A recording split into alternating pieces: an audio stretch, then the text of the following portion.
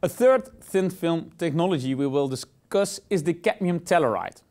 This thin film technology, which has currently demonstrated the lowest cost price per watt peak among all PV technologies. Let's start with the physical properties of cadmium telluride. This semiconductor material consists of the two valence electron element cadmium and the six valence element tellurium.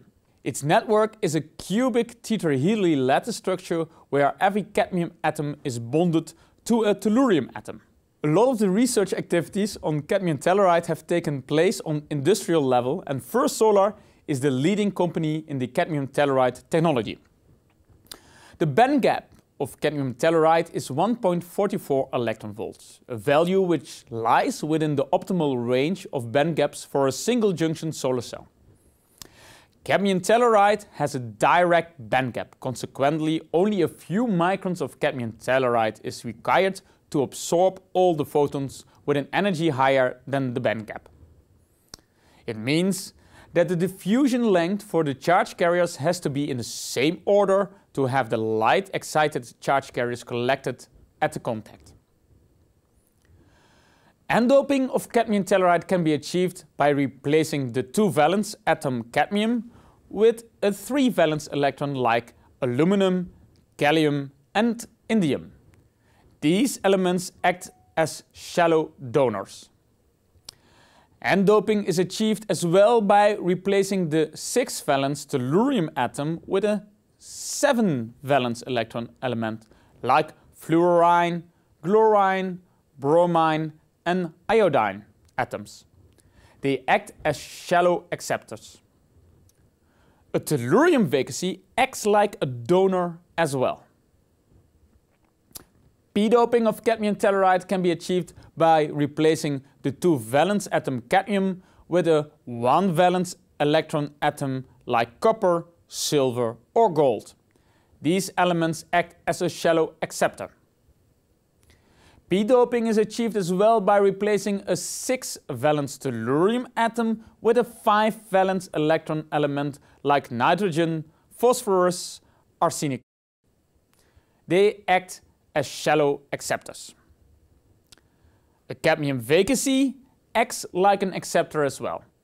In solar cells, p-doped cadmium telluride is used. However, it's difficult to give cadmium telluride a very high doping level. The structure of a typical cadmium telluride solar cell looks like this. On a glass, this transparent front contact is deposited. This can be tin oxide or cadmium stannate, which is cadmium tin oxide alloys. On top of that, the N layer is deposited, which is a cadmium sulfide layer, similar to the N buffer layer in CIGS solar cells. On top of that, a p-type cadmium telluride absorber layer is deposited with typical thicknesses of a few microns. Making a good back contact on cadmium telluride is rather challenging the material properties of cadmium telluride do not allow a large choice of acceptable metals. Heavily doping the contact area with a semiconductor material improves the contact. However, achieving high doping levels in cadmium telluride is problematic. Copper containing contacts have been used as back contacts. However, in long time scales they may face instability problems due to the diffusion of copper through the cadmium telluride layer up to the cadmium sulfide buffer layer. Nowadays, a stable antimony telluride layer in combination with molybdenum is used.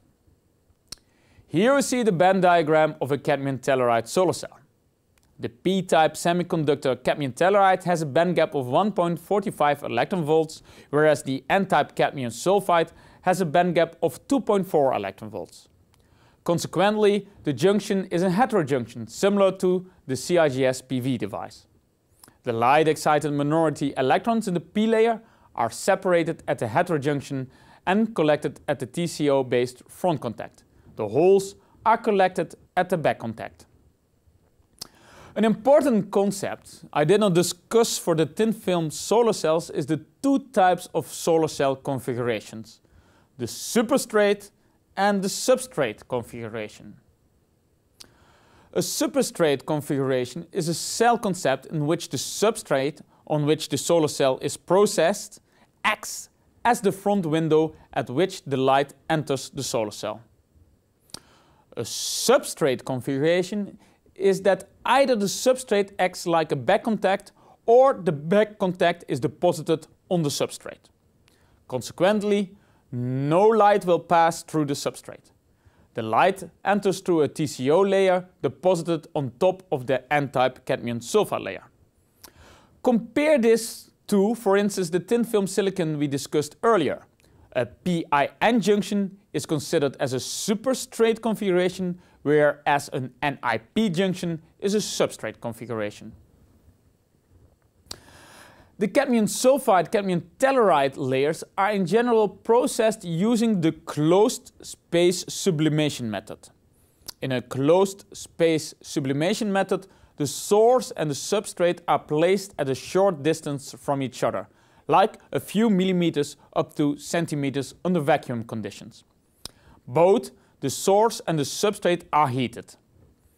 The source can be granulates or powders of cadmium telluride. An inert carrier gas like argon or nitrogen can be used. The source is at a higher temperature as the substrate and induces driven force on the precursors which are deposited on the substrate. The bulk p-type cadmium telluride is formed. First Solar and Antec are companies producing the cadmium telluride solar modules using the closed space sublimation method. Among new startups moving into the cadmium telluride PV technology are Calyxo, Primestar Solar from General Electric, and Abound Solar. However, First Solar is by far the largest cadmium telluride manufacturer in the world nowadays. From 2008, First Solar has an annual production rate of 500 megawatts and more, and was in 2006 and 2007 one of the biggest solar module manufacturers in the world. The record conversion efficiency of lab-scale solar cells is 18.7% as obtained by First Solar in 2013. The open circuit voltage of the record cell is 852 millivolts. The short circuit current density is 28.6 milliamps per square centimeters with a fill factor of 76.7%. General Electric achieved in the same year an efficiency of 18.3%. NREL has confirmed a new record conversion efficiency for a cadmium telluride solar module of First Solar of 16.1%. The current cost price per watt peak of the First Solar products is in the order of 68 to 70 dollar cents per watt peak and is expected to drop to 40 dollar cents per watt peak in the future keeping the cost price per watt peak lower than the solar modules based on crystalline silicon wafers. An important aspect to be addressed is that the cadmium telluride solar cells contain the toxic material cadmium. However, the insoluble cadmium compounds like cadmium telluride and cadmium sulfide are much less toxic. It is important to prevent cadmium entering into the ecosystem. The question is, whether the cadmium telluride modules would be a main source of cadmium pollution. A 2 gigawatt per year production capacity as installed by First Solar at the moment would take up around 2% of the total cadmium consumption by the industry and would not yet be a dominant contributor. Nevertheless, recycling schemes have been set up for installed cadmium telluride solar modules. For instance, First Solar has a recycling scheme in which a deposit of 5 dollar cents per watt peak is included, which covers the cost for the recycling at the end of the module's lifetime. Maybe the biggest challenge for the cadmium telluride will be the supply of the tellurium. Here we see again the illustration that shows the abundance of the various elements in the Earth's crust. As you can see, tellurium is not a very abundant element. So tellurium supply might be the limiting step to upscale the cadmium telluride PV technology to future terawatt scales. On the other hand, tellurium as source material has only had a few users and therefore a dedicated mining of tellurium has not been explored. In addition, new supplies of tellurium-rich ores have been found in Sichuan in China. So at this moment, it's not clear to which extent the cadmium telluride PV technology might be limited by the tellurium supply.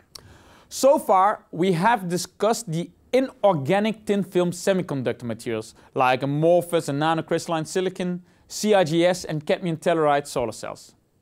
In the next block, we are going to look at organic and dye-sensitized solar cells. See you in the next block.